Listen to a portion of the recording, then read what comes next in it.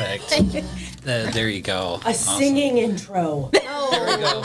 So we're gonna need you to sing the intro. If you could do that, that'd be great. Thanks. You're listening to MPS Connections with your host, AJ Hoffman. Hello, friends. Welcome to MPS Connections with your host, AJ Hoffman. Uh, go ahead and introduce yourselves. I am Jillian Seamster. I teach third grade at Central Park, and I am a proud Midland Public Schools graduate. Uh, Sarah Cooper. I'm a first grade uh, gifted and talented ALPS teacher at Central Park. Um, and I'm also a Project Lead the Way lead t- teacher. And as like Jillian, I am a MPS grad as well. Hi, everyone. Uh, my name is Nicole Billette. I teach second grade at Adams Elementary. We're here to talk about Project Lead the Way today. These teachers are all Project Lead the Way teachers. Um, would I get anything wrong? They're going to correct me because I don't know that much about Project Lead the Way, but it, it's it's a fantastic program from talking to Jen Service, and she always has a ton of guests for me to come on. So, but I I kind of handpicked you three, and I know Sarah, you and I, we grew up together, so yeah, I definitely wanted to have you on the show. So let me just let's jump right into it in the questions because I know a few of you have other meetings and I'm cutting it close. You guys had a long day today already. All right. So, what are your your students enjoying most about Project Lead the Way opportunities, and what are some of the biggest benefits you see?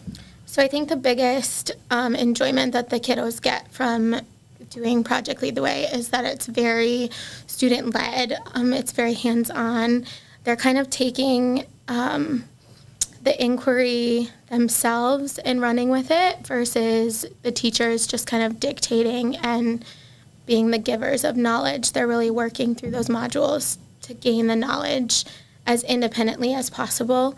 Um, the biggest benefits that I see as a third grade teacher is just the use of scientific language and the use of scientific writing through the use of launch logs and journaling, um, the use of observation, and just a lot of those reflection and conversation opportunities that they get through the activities that they're completing. I was just going to say you probably notice a difference in their language and stuff Yes, in there for sure. as the year progresses, right? Definitely. Sarah, how is this teaching and learning different from you from a traditional science curriculum? Well, for, for us, it's, it's really kid based. They're in charge of their learning, we're the guide on the side. We very much structure it so they get to explore, they get to build, they get to retest, they get to redesign. Um, they go through the design process on four different uh, modules. And so they get the chance to try it out multiple times. And if the first time doesn't work, they try it again the next time. Um, we've been pretty fortunate here at MPS to have uh, pretty hands on science. Um, but the nice thing about Project Lead the Way is it is the same language, the same format, K 5. So it keeps a little bit more consistency than we used to have. We used to have kits that came that was just for your grade level. Here they follow the same storylines, they follow the same vocabulary, and it follows um, K 5. Perfect. Okay, Nicole, this is kind of a, a Jen Service question, so um, yeah, be patient with me here. How how are the Project Lead the Way modules transdisciplinary, relating to other curricular ac- areas like reading, writing, math, etc.? And this is a big one, and it connects with um, uh, I think that's peer to peer. Uh, primary years program. Thank you. Yes. Yep, I told you I'd screw up. there you go. Yeah, our it definitely connects through PYP, which is um, our primary years program, which leads into then our high schools being an IB school.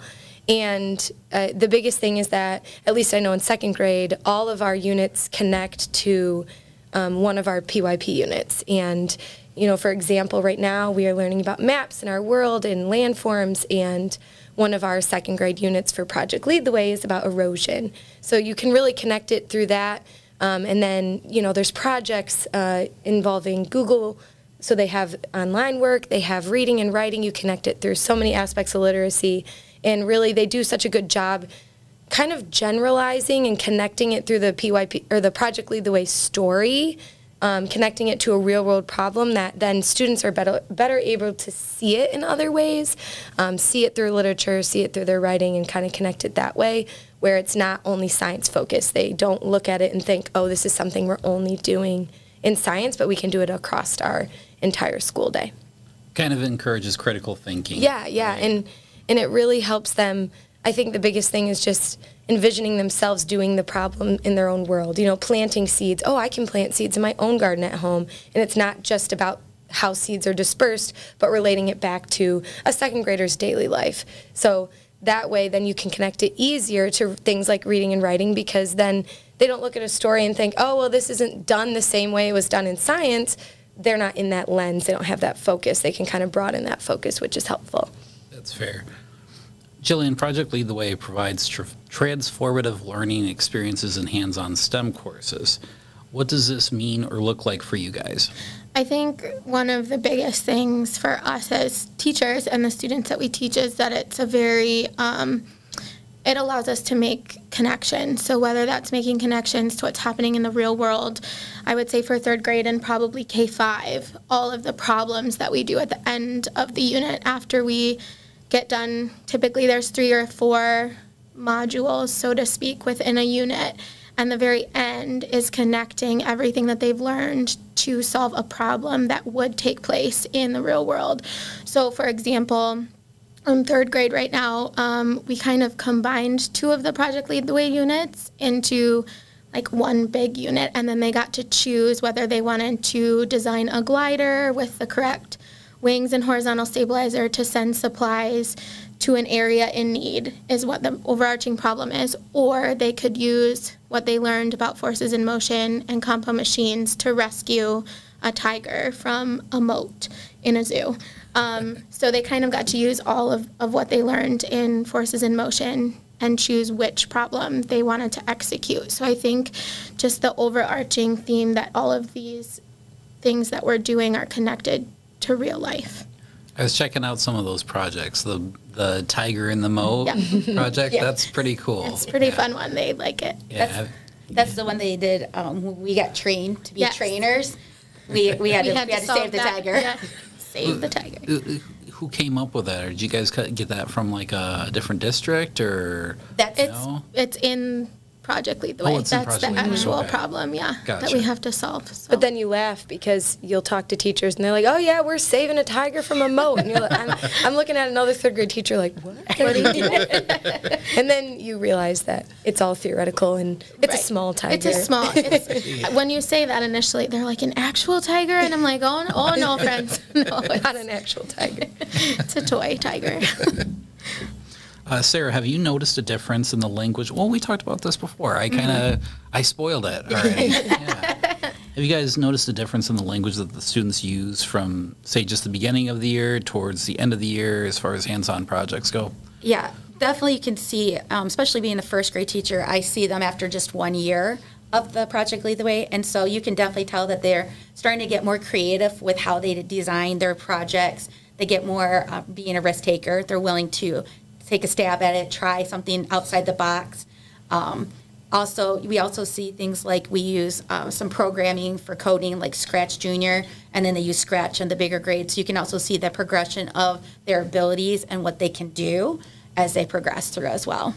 Nice. I also think just like perseverance is a huge mm-hmm. skill, and I think especially when you're young, like learning to kind of work through things um, they're not as quick in the older grades at this point to shut down. They're more willing to work through a problem too, which I think we can give credit to PLTW for. That's really interesting. Mm-hmm. That's cool. You guys all notice that? Mm-hmm. Okay. I think the biggest thing across like coming in and even just throughout the year of second grade is the language as far as the engineering design process too because that's used in every single module you know you're asking you're evaluating you're designing and that I can see being used in other other types of activities that we do, not just Project Lead the Way, but I know that that's kind of driven from that general language, using it throughout the years too.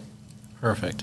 Uh, Sarah and Jillian, you guys are both in the same building. How much do you collaborate with each other on, on your classes' work? Uh, definitely your grade level team. We collaborate a lot with because um, a lot of times it is tied within our PYP units and so we collaborate together to figure out how we wanted to go about it, uh, how our timing's going, and things like that. We do have um, classroom buddies too, so I know um, that in years past, third grade, when we do our coding unit, has also like gone to our buddies, which this year happens to be kindergarten, um, and we'll kind of show them the interactive story that we make on Scratch. So awesome, mm-hmm. very cool. Talk about Scratch a little bit. I know, like I kind of know what it is, but for parents that maybe don't know what it is or don't um, haven't used it or haven't heard their, their students talk about it. Um, so Scratch is a program that is on their computer, and they learn to code basically in the in the lowest sense. So you have a start button, you have a chain of commands, and they pull buttons. So it's very visual. You know, there's green buttons and orange buttons, and each of them do different things. It might tell the character on their screen to jump. It might tell the character to move, you know, two left or one down. And they learn that they can set loops to make characters repeat actions, and eventually, um, at least in second grade, they create a little video game. Um, so they use those, you know, kind of basic functions and tag them together to learn to create eventually, which would develop, you know, as they get older into longer strands of code. Um, and I even personally find it really cool because that's not something I'm even familiar with until now that I teach it. And it's fun to see that even you could take something that we use in our world every day and kind of bring it down to a level that even you know seven and eight year olds can handle and even first graders um, and it's it's pretty cool that they can kind of start off in second grade because I know that's not something I ever did when I was in elementary school. So it basically, Scratch Junior starts out a little more kid friendly, lower grades, and then as they move into, I believe, third grade, they start using Scratch. Right. I think like our age group, like the, the quickest we, we started with code was MySpace and stuff. And that mm-hmm. was, right? I mm-hmm. mean, Yeah. same with you, Jillian? Yeah, the beginnings of social media. and Yeah, Yeah. exactly. Now it's changed. Now it's now it's a part of school. It's mm-hmm. it's integrated into school. So as far as Project Lead the Way classrooms, and forgive my ignorance, but how do you how does a a parent kind of involve or get the, their students involved in a Project Lead the Way classroom, or like is that separate, or is it just something that's naturally kind of integrated in, into your grade levels? I, I think a, a good way parents can kind of get involved is uh, look at classroom newsletters. Most of us all write what's kind of going on in all areas of school and often tell us what the activity was and ways to kind of engage your child. Ask them what they designed, ask them uh, what their project was like, ask them what they discovered about light and sound, and kind of ways to kind of tap into what they're currently learning about. Perfect. Okay. Yeah, and a lot of those, um, I know at least uh, at Adams, we've been starting to send home like specific PYP ones, which integrate a lot of the project lead the way. And I know when we did, um, we are learning about plants and seed distribution. You know, I encourage a lot of them like grow something at home. Ask your parents when you're at the store if you can buy, you know, a dollar bag of seeds and see what can happen. So just kind of like taking it a step further to kind of have their own little inquiry cycle at home i feel like is an easy way and a lot of these are you know affordable or small things that they can do that they don't even maybe have to buy and can just be things that they talk about or um, you know and venturing outside and and just looking and seeing and kind of making those at home connections or outside world connections to what we're doing in the classroom too Awesome. Now, this last question I think kind of falls on you, Nicole, but I'm going to pose it to all three of you. What what has uh, Project Lead the Way done for each of you in terms of changing or improving the way you, you each teach? Jillian, you want to start? I just, I think one of the biggest things is um, kind of teaching myself how to teach in this way. So instead of, I'm more of a facilitator now versus like a distributor of knowledge, so to speak. I'm there um, for them for questions and those types of things, but really they're kind of in charge of um, kind of discovering things more so independently, like aside from me. I love that. That's a great way of putting it. You're you're more of a facilitator, more than like a pusher of lecture or Yes. knowledge or anything like Yeah. that. Yeah. Sarah, what do- what do you think? Yeah, kind of the same thing. Like, I think you had to, especially because I think, you know, when we were students ourselves, it wasn't this way. This is Right. not how we learned science. No. And so you're used to somebody coming up and telling you what, you know, how everything is. And this is so much, you step away and it's, what do you think? Mm-hmm. How is this? Why is this? It's really on them and their learning. And so I think for me, the biggest like transformation is being that guide on the side, keeping my mouth quiet and letting them do the thinking and tell you why and what their thoughts are. And I think that's been amazing to see. Well, not necessarily like shutting up or shutting down, but just Sure. listening to what they're saying, right? Even if you know, like, they're down like, the wrong path. Oh, you're like, if you do that, we're not. We're gonna have like a problem. Just to like let them let them Do. make mistakes and persevere, and not have me constantly saying That's- step one is step two. Yeah, that's how they learn, right? Yeah. By My- making mistakes, losing a little. My my answer is pretty similar. I think mine's a little more. I, mean, similar as in like I need to, you know, there's a little less control, mm-hmm. and I think a lot of times as teachers we like to have control, and most times it's it's good because you need to, you know, have control of your classroom, and and then you have structure and expectations, and even just like the order of materials. And a lot of times in these, you kind of just have to let things go a bit awry, and get a little messy, and that's how they discover. And it's it is hard in those moments where you're like, oh, but your your your structure's just gonna topple over in like one second. but that's how they learn, right? And that's you know how they learn to problem solve, and they learn how to have that growth mindset and to kind of come over and persevere through those challenges. But also just as far as like my organization, sometimes you're like, all right, I just have to know going into this that we're gonna get sand everywhere, and it is what it is, and and, and that's and that's okay, right? And I'll just clean it up later, and we'll figure it out later. But that definitely has been a change of mindset, like kind of letting go and kind of letting them take the lead on some things. It can be tricky, and I am challenging myself to let that happen in other aspects of my day too, not just pr- project lead the way. But it's a really good start. So Perfect. yeah. All right. Well, that concludes our show. I want to thank you each for being on the show today. I hope the nervousness is all subsided and good, right? Yeah. For sure. All We, we got through it. That was painless, right? all right. Well, that's our show. That's our show. We'd like to thank all of our listeners around the district, around the country, and around the world for tuning in. We've launched a district Instagram page, and you can uh, find and follow us by searching the handle at Midland Public Schools.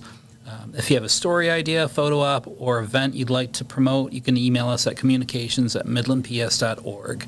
Thanks again for listening to MPS Connections, and we'll catch you in two weeks. Thanks.